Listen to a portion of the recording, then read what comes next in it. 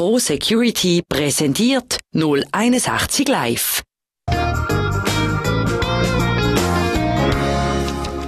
Ein saftiges Steak oder doch lieber einen lustigen Salat. Was würden Sie vorziehen? Bei meinen Gästen ist es klar. Herr Manino? Ja, ein Salat natürlich, weil das nur die Auswahl ist. Aber ich glaube, die Alternative ist vielleicht ein bisschen unfair. Ich meine, es gibt mittlerweile viele Fleischalternativen. Vegane Currywurst, veganes Rindsgulasch, veganes Hackfleisch. Also wenn es so eine Alternative wäre, wäre es natürlich klarer und vielleicht fairer als Vergleich. Aber so ist der Salat, ja. Genau. Klar, Sie sind der Initiant von der Initiative Nachhaltige und faire Ernährung und wenn das der Staat soll vegetarische und vegane Essen fördern. Neben Ihnen sitzt der Herr Zimmermann. Jetzt muss ich Sie natürlich auch fragen. Steak nehme ich an. Ich würde Steak vorziehen, aber ich würde den Salat dazu essen. Ah, okay. ja, Sie sind ja Präsident vom Metzgermeisterverband von den beiden Basel. Ja. Wo Sie gehört haben, dass es eine Initiative gibt, die das vegetarische Essen soll fördern Was haben Sie da gedacht? Mir klingt es immer lustig, wenn ich die Begriff höre, weil es ist eine vegetarische Currywurst und es ist vegetarisches Hackfleisch. Und dann finde ich man das gleich noch lustig, dass trotzdem der Name noch bleibt vom Fleisch. Weil ihn so ganz verdrängen kann man es halt gleich nicht. Und es ist halt von Urzeiten schon vorgegeben, dass das irgendwie ein bisschen fleischähnlich muss sein und darum bleibt auch der Name noch. Darum ist es einfach das vegetarische Hackfleisch. Und das tut mir immer, ein bisschen, das mir immer ein bisschen zum Schmunzeln veranlassen. Ja, also ich würde mich jetzt fragen, warum das lustig ist. Ich meine, es, es hat ja niemand etwas gegen Fleischgeschmack, im Gegenteil. Also der Fleischgeschmack finde ich auch super, den möchte ich überhaupt nicht missen. Das ist ein Ziel von mir, einfach kulinarischer Genuss. Ich meine, Grillieren im Sommer und so weiter, absolut. Aber das andere... Ja, da gerade ein paar Bilder, wo man so, ein bisschen okay. so saftige ja. Fleischstücke sieht. Ist ja auch wieder Grillzeit. Hier so grosse, das ist irgendwelches Rindfleisch, nehme ich an. Ja, natürlich, klar, die Wurst. Eben, es ist Grillzeit, es wird jetzt überall grilliert, überall äh, werden Würste gekauft und ja. konsumiert. Was ist denn so schlecht daran, Herr Manina? Ja, also sicher nicht der Geschmack. Darum eben, ein Ziel von mir ist kulinarischer Genuss, aber ein anderes Ziel von mir ist Tierschutz, konsequenter Tierschutz und Umweltschutz zum Beispiel. Und äh, wenn ich den Fleischgeschmack kann haben also das Ziel kann erreichen und Tierschutz und Umweltschutzziel kann erreichen, dann ist das ja ein Win-Win-Win. Und was zum Beispiel schlecht daran ist, ist, dass ähm, ich denke, dass unser Tierschutzgesetz im Moment zwar eigentlich gute Prinzipien enthält, aber doch sehr inkonsequent ist. Also es hat eine Definition von Tierquälerei, die wir ja alle ablehnen, wo ungefähr so etwas besagt wie, das ist unnötige Schädigung von Tieren. Also wenn wir Tiere schädigen und das unnötig ist, dann ist es eigentlich tierquälerisch. Und zum Beispiel im Forschungsbereich wird es recht konsequent angewendet. Ich meine, im Forschungsbereich darf man zum Beispiel kein, kein Tier töten, wenn es eine valable Alternative dazu gibt. Und darum gibt es auch Bundespflicht, die Alternative zu fördern. Also da macht der Staat etwas. Aber nein, im Landwirtschaftsbereich zum Beispiel findet man da nichts. Obwohl man dort eigentlich eine ähnliche Situation hat. Hier und heute in unseren Breitengrad ist der Fleischkonsum eigentlich unnötig. Also wir können uns gesund und gut ernähren ohne Fleisch. Nachweis, das hat das Bundesamt für Gesundheit. Und es ist eine massive Schädigung von Tieren. Also 50 Millionen Landtiere äh, töten wir allein in der Schweiz pro Jahr. Und dann muss man sich schon fragen, in welcher Relation steht das und ist das konsequent, ist das vereinbar mit dem Aber so in unserer Kultur zumindest gilt das ja. schon als Grundnahrungsmittel auch. Das ist so. Ja. Und äh, ob es eine Schädigung vom Tier ist, das äh, würde ich jetzt schon bezweifeln. Also grundsätzlich tun wir ja nicht Schaden und Leid am Tier zufügen. Ja, also ich meine, die Tötung von einem Tier ist, glaube ich, schon der Ultimativschaden. Also man kann sich zum Beispiel fragen, würdet ihr auch Hunde schlachten zum Beispiel? Also wenn wir jetzt, wenn wir jetzt in unserer Kultur das mit Hunden würden also, machen, oder mit so, würdet ihr das auch mit Hunden machen? erlaubt gewesen, Hunde ja. zu essen. Aber ich meine, würdet ihr es jetzt zum Beispiel noch machen? Also Hunde? Ich, mich persönlich ja. nicht. Wieso denn, wieso denn nicht? Weil ich das Tier jetzt nicht würde essen Ja, aus Mitleid mit dem Tier? Nein, nicht aus Mitleid mit dem Tier, weil, weil es mir als, als Tier nicht würde äh, passen. Ja, aber wenn es jemandem würde passen, also jetzt zum Nachbarmetzger sagt, ich möchte jetzt gerne 300 Hunde pro Tag töten, dann wäre das... Ja, im Moment ist es ja nicht erlaubt. Früher hat es eine Zeit gegeben, wo es erlaubt war. Aber ich denke, es, es, gibt einen guten Grund, warum das nicht erlaubt ist. Und wenn wir zum Beispiel nach China schauen, wo die Hunde Nutztiere sind, dann erkennen wir da, dann denken wir, hä, also wie kann das sein? Aber jetzt ähm, haben wir da doch vielleicht ein bisschen Widerspruch. Wenn man, wenn man jetzt in die Forschung zum Beispiel schaut, die hat herausgefunden, dass Säue sogar noch sensibler und intelligenter sind als Hunde. Säue können zum Beispiel mit Spiegeln umgehen, was Hunde nicht können. Und dann muss man sich schon fragen, wenn wir das mit Hunden nie würden machen und als Tierquälerei würden erkennen, warum machen wir es dann mit Säuen, mit Millionen pro Jahr? Herr Zimmermann, Sie dienen ja selber auch äh, Schlachten, Sie, haben, ja. äh, also, Sie sind Tierschlachten und haben eine Metzgerei. Ja. Äh, woher kommen die, die Tiere, die Sie, die Sie schlachten? Ja, wir metzgen vorwiegend Tiere aus der Umgebung, also nächster Umgebung, also 4, 5, 10 Kilometer weg. direkt vom Bauer angeliefert. Äh, das ist meines Wissens oder meines Erachtens äh, relativ human. Äh, und wir haben auch keinen Riesenschlachthof. Wir äh, metzgen das eigentlich noch wie zu Grossvaters Zeiten. Und äh, möglichst human. Wir sind auch, äh, es wird, gibt äh, auch seit neuestens äh, Tierethik-Ausbildung für Schlachtpersonal. Das wird äh, im zweijährlichen Rhythmus wiederholt, äh, wo eigentlich jede Person, die mit der Schlachtung zu hat, Anlieferung, Abladen, muss machen und äh, von dem her auch geschult wird, dass nicht unnötiges Leid Tieren zugeführt wird. Und da schauen wir eigentlich drauf. Können Sie da irgendwo nicht auch einen Unterschied machen, ob jetzt eben das Fleisch von, von, von einem Tier kommt, das irgendwo noch schönes Leben gehabt zumindest, oder halt dann irgendwie so Masttierhaltung, die durch halb Europa gekarrt werden. Ist das für Sie äh, doch noch irgendwo eine Differenzierung oder ist Ja, das ja, grundsätzlich also- alles abzulehnen? Natürlich ist es ein Unterschied. Also natürlich, äh, je mehr Leid das in der Produktion vonstatten geht und während der Schlachtung, desto schlimmer für das Tier, keine Frage. Aber es gibt zum Beispiel aktuelle äh, Studien aus Deutschland, äh, wo die Schlachtmethoden sind untersucht wurden. In der Schweiz gibt es die leider noch nicht, aber in der Schweiz werden die gleichen Schlachtmethoden angewendet, die zum Beispiel gezeigt haben, dass bei den Rindern 4 bis 9 Prozent äh, noch bei Bewusstsein sind nach dem ersten Bolzenschuss. Also, und das ist auch bei nicht industriellen Schlachtungen so. Das kann man fast nicht vermeiden. Oder bei den Säuen, äh, die mit CO2 betäubt werden, dass das häufig auch ein qualvoller Prozess ist. Da habe ich mich aber gerade informiert. Extra. Ja, ich habe das, das gelesen ja. in äh, Unterlagen und Ja. habe extra am Schlachthauschef angerufen Ja. von Basel. Und habe ihn gefragt, wie das ist. Und er hat gesagt, das ist tatsächlich so, Ja. dass äh, zwischen 0,5 und knapp 1 Prozent Ja. die äh, äh, CO2-Betäubung nicht ganz funktioniert Ja. und die noch Reflex aufweisen. Und dann habe ich gesagt, ja, und was machen die denn nachher? Und dann hat er gesagt, die werden nachher betäubt, nachbetäubt. Also die kommen nicht so, wie das in euren Unterlagen steht, ins Schlachtband und nachher werden bei lebend- bei lebendigem Leib da gebrüht oder irgendwie, wie das da drinnen steht. Ja, das kommt vielleicht auch noch auf die Grösse vom, von Schlachtereien an. Nein, nein, ich meine, mit 40 Millionen Ja. Kilo oder noch ein bisschen Ja. mehr ist Basel eines der grössten Schlachthäuser Ja. in der Schweiz. Ja, aber Äh, trotzdem, Und da wird das also auch im Einzelfall wirklich noch unterschieden. Ja. Aber man muss sich das mal vorstellen. Also das ist ein Tier, ich meine, das intelligenter ist und sensibler als die Haustiere, die wir halten. Und dann wird es einfach wird's betäubt, ko- wacht wieder auf. Das, das muss Nein, trotzdem... es wacht nicht auf. Sehr wahrscheinlich, er hat gesagt, es tut noch Ja. Reflex zeigen. Ja, das, Also sagt jetzt wird er als, das sagt jetzt er als Schlachthofbetreiber. Aber Ja, ja. nicht. Also wenn man, Also nehmen wir wenn an, man das dort stimmt schon. anfragt, Also wenn die, man- die, wenn man- äh, die Kantonsdirekte Ja. die sind ja vor Ort. Ja, aber wenn man... sind immer dort. Auch wenn man jetzt journalistisch oder so anfragt, darf man das mal anschauen oder darf man Studien durchführen, dann hat man häufig, bekommt man einen negativen Bescheid und dann fragt man sich dann natürlich Also schon, bei uns sind warum. wir eingeladen, zum Ja. Studie zu machen. Vielen Dank. Okay, jetzt, ähm, Sie haben vorhin gesagt, eigentlich braucht es gar kein Fleisch. Wir können auch ohne auskommen. Wenn man jetzt aber so ein bisschen die Entwicklung von der Menschheit anschaut, ist ja der Mensch eigentlich ein Allesfresser.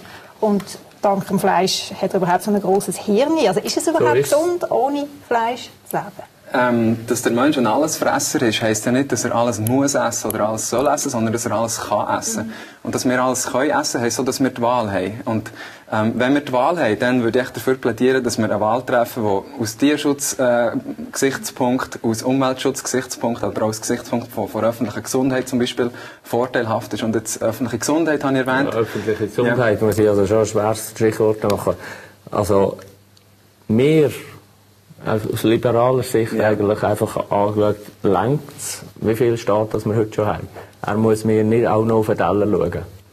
Und da bin ich also schon auch nicht mit dem Initiativskomitee äh, im, ein, einverstanden, dass überhaupt muss es Gesetz an, dass man den vegetarisch oder den veganisch Ja. äh, Konsum muss fördern.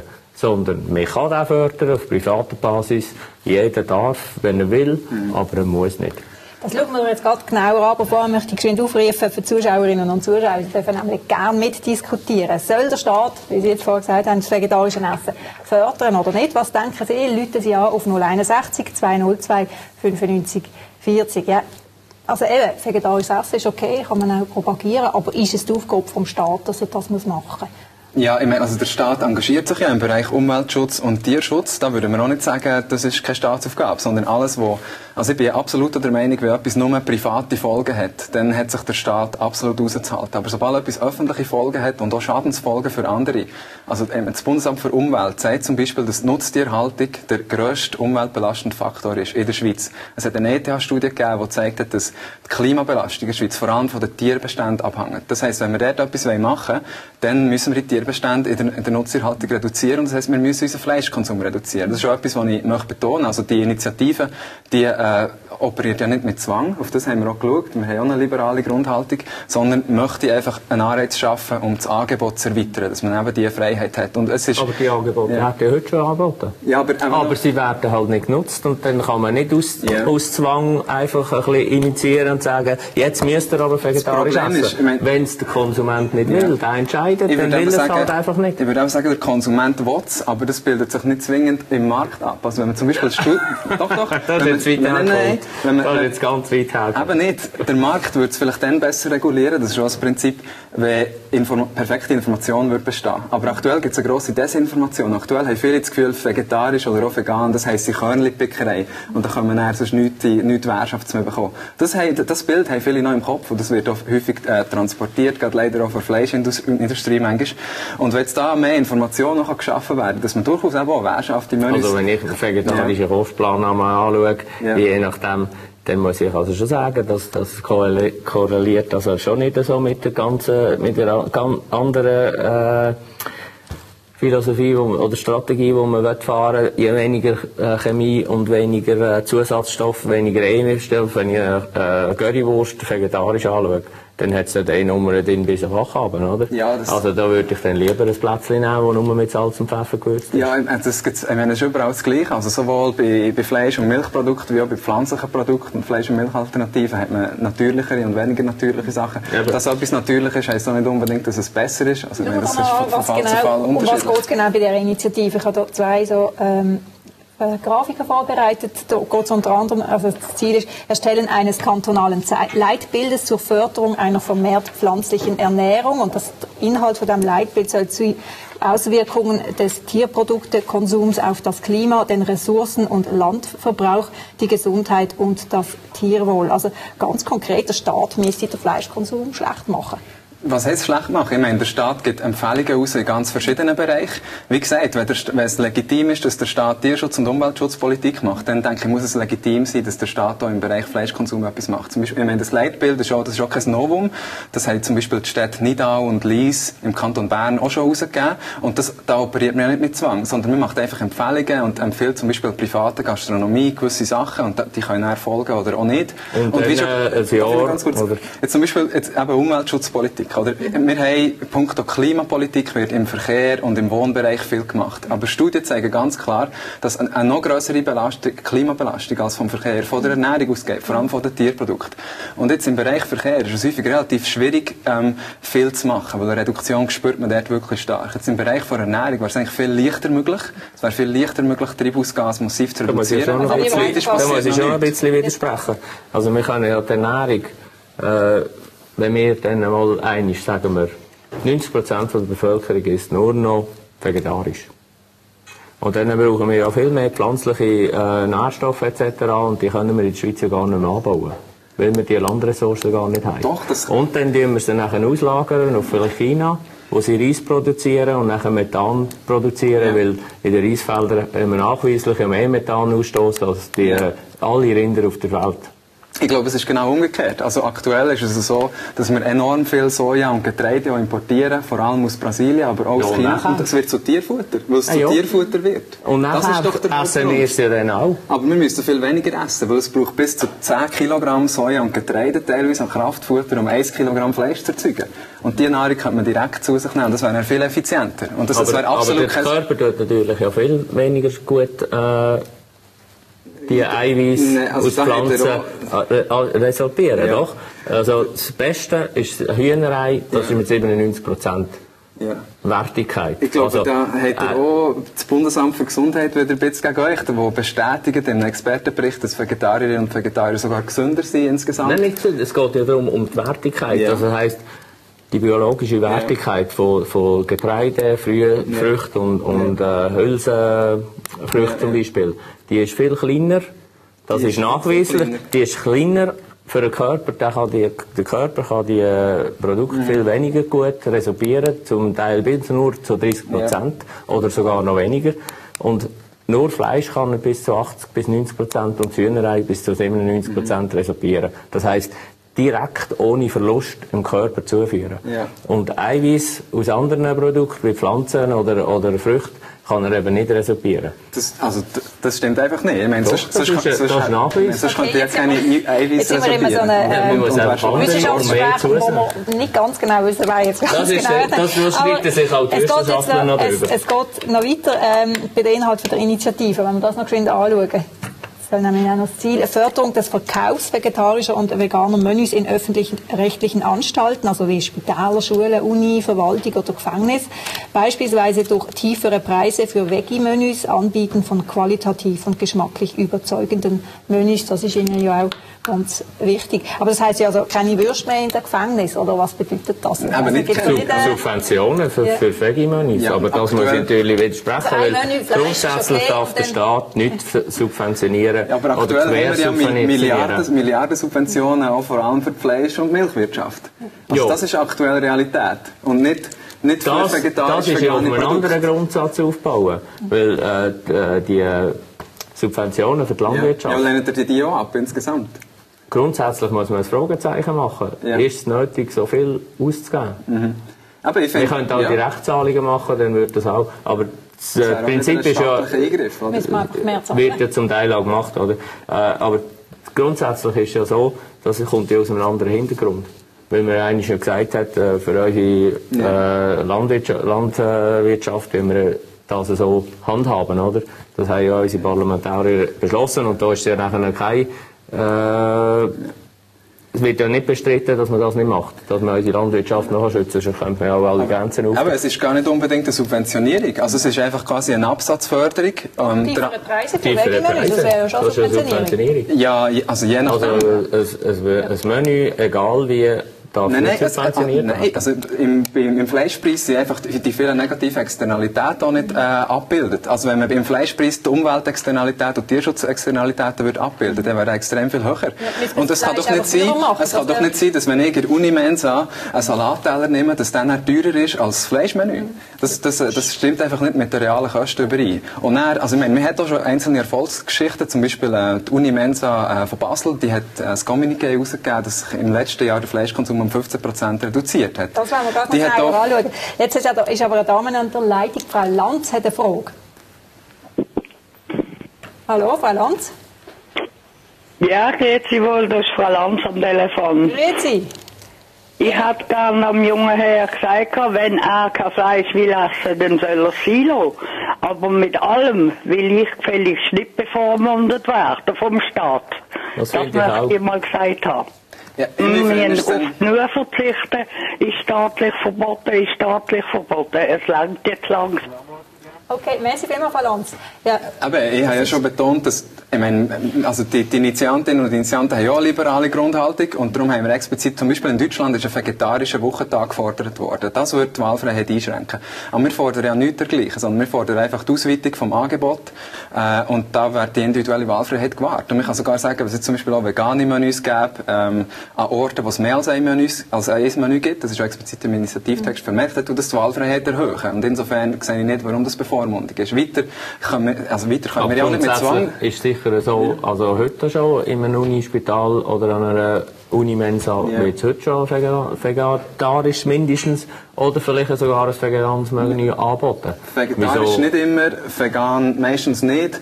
Und, und insgesamt könnte man es einfach viel stärker fördern. Und wie gesagt, wenn Umweltschutz ein Staatsziel ist, und das ist es, wenn Tierschutz ein Staatsziel ist, in anderen Bereichen wendet der Staat auch Ressourcen auf, um dort positive Entwicklungen zu begünstigen. Und insofern sehe ich nicht, inwiefern das jetzt hier eine Zwängerei sein Es ist ja auch ein, bisschen ein Boom. Also, vor allem jetzt in, in, in Basel, denke ich, merkt man das schon, dass sehr viele Leute äh, sich vermehrt vegetarisch ernähren. Vielleicht nicht ausschließlich, aber dass man nicht mehr so viel Fleisch isst. Wie spüren Sie den. Trend? Ja, ich denke bewusster auch, ja. Aber es ist ja noch lustig, es, spricht, es widerspricht dann einfach so ein bisschen der Grundhaltung, man ist bewusster, aber trotzdem ist der Fleischkonsum auch an der Grenze rund eine Milliarde, oder?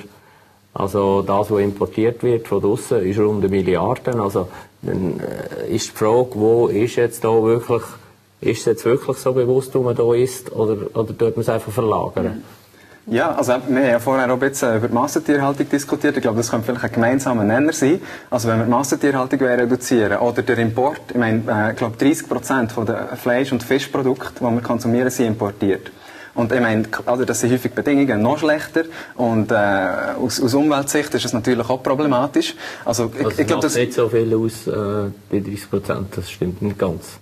Ja, bei den Fischprodukten ja. ist schon so. Bei, de, bei und bei einzelnen, 20, 20 bei, einzelnen Sie sind da, wo wir gerade an der Grenze wohnen, ja. so viel äh, über Grenzen mhm. go, go Fleisch Sehr einkaufen. Viel, ja. Von wer fürchten Sie denn jetzt mehr? Die Vegetarier oder die, die über Grenzen gehen? Also ich denke, im Moment ist, äh, seit auch der Euro ist, ist der Grenztourismus eher ein äh, grösserer Faktor, der bei uns äh, spielt. Aber auf lange Sicht äh, sehe ich so Initiativen natürlich äh, mit, einem, mit ein bisschen Vorbehalt, weil heute ist es nur eine Forderung, dass man könnte und sollte. Und morgen ist es Pflicht, dass man muss. Und übermorgen wird irgendetwas ganz verboten. Oder heisst es ist nur noch so, es sind dann Salamitaktiken, wo dann einfach regelweise immer eine Stufe höher eingestellt wird und immer mehr gefordert wird. Und darum bin ich ein bisschen vorsichtig mit Initiativen in diesem Bereich, äh, muss man sich wirklich äh, die Freiheit vom Bürger und die Wahl vom Bürger müssen wir doch ein bisschen höher also bewerten. Also so wie eine Salamitaktik kommt, also es ist jetzt falsch. Ja, ich meine, der Vorwurf kommt immer, oder? Aber also Umfragen zeigen zum Beispiel, dass 80 Prozent der Schweizer Bevölkerung eigentlich gegen die Massentierhaltung sind. Und das heisst, wenn man etwas gegen die Massentierhaltung machen will, schon nur dann, also wenn man nicht einmal wirklich konsequenten Tierschutz betreibt, einfach etwas gegen die Massentierhaltung, also in der dann, Schweiz muss ich sagen, darf ich schnell den Punkt fertig machen, dann äh, kommen wir einfach nicht darum herum, den Fleischkonsum zu reduzieren. Auch eben, wenn man das Importfleisch reduzieren will, das aktuell 20% ausmacht, dann kommen wir nicht darum herum, das zu reduzieren. Und jetzt kann man schon sagen, Salamitaktik und so weiter, aber wenn man denkt, das ist Salamitaktik, dann kann man ja sagen, okay, unterstütze jetzt einen ersten Schritt, also einfach Reduktion vom Fleischkonsum und weitere Schritte äh, unterstütze ich dann nicht. Das wäre dann die konsequente sagen, wir unterstützen die einheimischen Bauern und die einheimischen Metzger und schauen, dass irgendwie das Fleisch irgendwie, was weiß ich was, mehr Zoll drauf ist oder weiß nicht, dass yeah. man, weil, weil dort da haben sie ja keine Kontrolle, woher genau kommt jetzt das Fleisch, kommt das von Ungarn und Polen, wird mhm. halb Europa gekauft. Also ja. wäre nicht das auch ein Ansatz? So, solche Bestrebungen gibt es ja. Es gibt Initiativen vom Bauernverband zum Beispiel, die die einheimische Produktion stärken Das ist auch eine gute Sache. Aber es, ich meine, jetzt im Landwirtschaftsbereich wird an verschiedenen Orten und Fronten wird etwas gemacht. Aber die Reduktion vom Fleischkonsum ist so etwas wie der, ein Elefant im Raum, wo einfach viele so ein bisschen drumherum, aber es ist ein extrem grosser Faktor halt eben. Jetzt, ich habe Klimapolitik erwähnt und wir kommen einfach nicht darum herum, den Fleischkonsum zu reduzieren, wenn wir wirklich in diesen Bereichen etwas... Der vorher Massentierhaltung angesprochen. Ja. Äh, das gibt es in der Schweiz ja gar nicht. Ja, also, also in diesem Bereich äh, haben wir ja das äh, humanste Landwirtschaftsgesetz, wo, wo in Europa ist, das, oder? Das hat jedes Land das Gefühl. Nein, wir haben wirklich die kleinsten Bestände ja. weltweit. Aber zum Beispiel bei Hühnern in der Bodenhaltung hat man Bestände von 15.000 und mehr. Ist das nicht eine Massentierhaltung? Gut, dort, dort kann man, dort kann man es, äh, und, und, Hühner aus Boden, äh, Bodenhaltung sind ja. fast 90 Prozent der Tiere, die wir konsumieren. Also, oder auch in, in Kälbermast zum Beispiel wird flächendeckend Antibiotika verabreicht, weil man, weil man sich auch nicht, häufig nicht mehr wirklich individuell um das Tier kann kümmern kann. Also ich glaube, das ist ganz klar Massentierhaltung. Sie haben jetzt angefangen mit der Unterschriftensammlung. Warum machen Sie eigentlich die Initiative überhaupt? In Basel. Also warum haben Sie jetzt in Basel angefangen? Ich nehme an, das ist eine Idee, dass das noch weitergeht, aber Sie haben yeah. in Basel angefangen. Also es ist ja nicht nur in Basel, in, in Bern laufen auch Bestrebungen, in der Stadt Bern, in Zürich allenfalls dann auch. Äh, jetzt in Basel hat es einfach angefangen, weil hier auch, also ich meine, jetzt die also Leute, die sich, die sich im Bereich Tierschutz und Umweltschutz engagieren, sind hier besonders stark vertreten. Konkret auch Leute, die sich bereit erklärt haben, interessiert an sie Unterschriften zu sammeln. Und insofern ist das äh, ja, pragmatischer Entscheid gewesen. Ist das so ein bisschen Basel, ist so ein bisschen der Veggie-Ecke von der Schweiz? Ähm, ja, ja, ja, ich habe ein bisschen den Eindruck, aber eben nicht nur der Veggie-Ecke. Also wir haben wirklich auch viele Leute, die, die Fleischesser sind, Fleischesserinnen, die uns unterstützen. Äh, Grossrätin Nora Berci zum Beispiel und, und weitere Grossräte, Grossrätinnen auf nationaler Ebene, der Bastian Gichot zum Beispiel, Dalin Trede, die essen, die essen Fleisch, finde ich so eine gute Sache. Also es ist überhaupt nicht irgendwie eine Initiative nur für Veggies, sondern eigentlich eine Initiative für alle, die denken, dass es eine gute Sache wäre, wenn wir den Fleischkonsum würde reduzieren und äh, den pflanzlichen Anteil an der Ernährung würden erhöhen. Man nochmal einen Anrufer in der Leitung, es ist Frau Schanz. Die Chance. Hallo, jetzt dürfen Sie reden. Ja, guten Abend miteinander. Grüezi.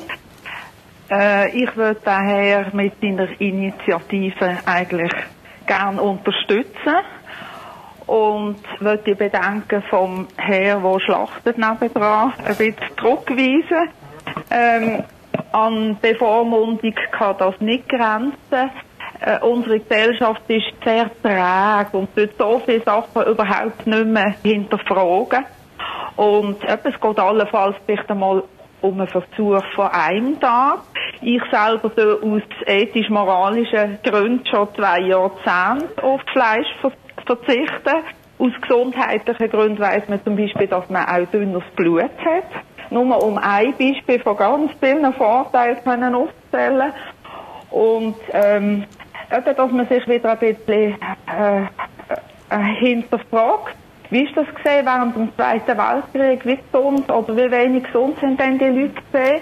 Oder dann auch in den 50er Jahren, wo viele Familien, die jetzt nicht im Großbürgertum angehört haben, nur am Sonntag Fleisch gehabt hat. Auch eine Rückerinnerung an Verwandte aus früheren Generationen. Und einfach die Vielfalt plötzlich auch entdecken. Merci vielmals, merci vielmals selber, äh, Spaß Zeit läuft ein bisschen, jetzt müssen wir langsam wieder in die Diskussion hineinkommen. Sie haben gehört, also ähm, so viel Fleisch, wie man heute isst, das hat man glaub, nie zuvor äh, da, äh, gegessen. Und Aber es ist natürlich eine wahnsinnige Entwicklung seit dem Zweiten Weltkrieg. Es ist natürlich dann auch rar gewesen wo mhm. Krieg war. Ich kann mich jetzt auch nicht erinnern, das war vor meiner Zeit, gewesen, aber so aus Erzählungen vom Großvater noch, kann man sich da schon erinnern, wo das äh, kontinentiert war und mit Mäkli hat man nur das können abholen, wo man dann gerade Mäkli dafür mhm. hatte. Da war ein reger Handel gewesen. und äh, das ist sehr stark nachgefragt gewesen. Und erst nach dem Zweiten Weltkrieg, wo die Wirtschaft wieder anfangen laufen, ist dann auch die Produktion wieder angesprungen und dann haben sich das plötzlich alle können leisten und dann ist der Konsum nachher gestiegen, oder? Und der Preis ist zusammengefallen, muss man auch noch sagen, oder? Nein, der Preis ist eigentlich äh, nicht zusammengefallen in dem Sinn, sondern das Einkommen ist gestiegen. Mhm. Also, das also Verhältnis, das Verhältnis so hat sich verschoben, oder? Mhm. Also das Einkommen ist gestiegen und der Fleischpreis ist heute praktisch ist noch dort wie dazu mal, oder? Okay. Ist allenfalls das auch ein Ansatz? Also essen wir schlichtweg zu billig im Grunde genommen? Grundsätzlich ja. kann man sagen, weil das Fleischpreis hat eigentlich der Teuerung nie können Schritt halten und, und auch wenn man schaut, welchen Anteil vom Haushaltsbudget heute auf der Ernährung entfällt, ist das glaube ich ungefähr 11 Prozent oder nein, weniger, ich glaube 8 Prozent, ja genau. Und äh, wir haben es vorhin auch davon gehabt, auf Kosmetikprodukte entfallen mehr als 10 Prozent, oder? Also es steht einfach im, in keinem Verhältnis vermutlich. Also man muss sagen, wenn uns Tierschutz, Umweltschutz und so weiter etwas wert ist, dann kostet das vielleicht auch etwas. Ähm, aber weiter, ich möchte auch überhaupt nicht, äh, dass es irgendwie nach grossem Verzicht tönt, weil, mhm. also die meisten Flexitarierinnen, Vegetarier, Veganerinnen, die ich kenne, leben es überhaupt nicht als Verzicht. Ähm, wir haben es erwähnt, der Fleischkonsum ist, ist auf einem, äh, ja, exorbitanten Niveau. Meine Mutter erzählt mir manchmal schon, was ich Kinder war, hat es auch der Sonntagsbraten gegeben. Also. Exorbitant ja. muss ich schon nicht, muss ich ja. nicht ganz unterstreichen. Weil, wenn wir anschauen in Europa, essen wir am wenigsten Fleisch. Im Gesamteuropa? Äh, Im Gesamteuropa auf einem extrem hohen Niveau am wenigsten. Ja, okay. vielleicht so ja mit, mit USA ist gar nicht zu vergleichen. Fast am Ende. Noch geschwind, die, Ihre Initiative hat es bereits auch geschafft, beim Landrat zu erwähnt werden. Ich möchte noch geschwind die Einspielung zeigen vom SVP-Präsident Oskar Kämpfer, der mit Ihrer Initiative gegen die Fusion wirbt.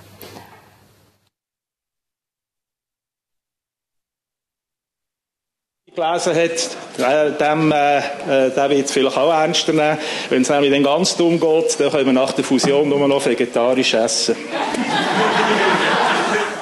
Er macht das jetzt auch ein bisschen als Witz. Äh, das ist ja lustig in diesem Zusammenhang, aber trotz allem, irgendwo ist ja das Thema ein bisschen äh, genug ernst. Eigentlich müssen wir nicht Witz darüber machen. Was meinen Sie, ähm, welche Chance hat jetzt so, so einen Input, so eine, so eine Initiative für hier in der Region?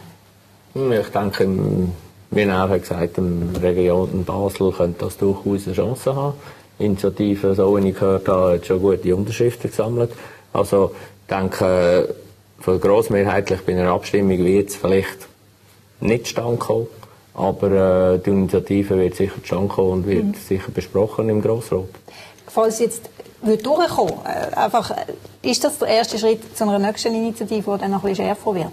Ja, das kommt darauf an, wen man fragt. Also, eben, die Unterstützung ist sehr breit. Die kommt von Fleischessern, Vegetarier, also, Veganer, Umweltschützer. Ist das der erste Schritt ja. für, einen, für einen nächsten Schritt, wo es dann wirklich dem Fleisch wirklich an den Kragen geht? Ähm, Vielleicht von, also ich meine, wie schon gesagt, wenn man wirklich den Tierschutzgedanken konsequent vertritt, wie er zum Beispiel auch konsequenter im Forschungsbereich angewendet muss man sich schon fragen, wenn es gesunde und gute Alternativen gibt und es nicht nötig ist, ein Tier zu töten, mit welcher Rechtfertigung machen wir es? Also die Frage steht sicher auf dem Tisch, die hat man medial, das hat man beobachten, die Debatte, die ist da, aber jetzt in dieser Vorlage geht es ähm, ja nicht um Zwang und, und ich, ich habe absolut liberale Grundhaltung, also ich denke, wenn man ein Ziel kann erreichen kann, ohne irgendwie staatlichen Zwang einzuführen, dann äh, würde ich auch die Variante bevorzugen. Und ich möchte ja. ja, jetzt sind wir leider am Anfang Gespräch, aber ich sehe, ich glaube, ich muss ihn noch einmal einladen, damit wir noch weiter diskutieren Merci vielmals für das Gespräch. Danke Ihnen. Das ist die von 061 live. Jetzt geht es auch weiter mit einer Fleischschau.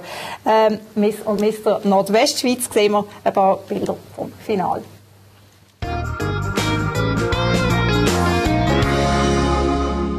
061 Live ist Ihnen präsentiert worden von Crow Security.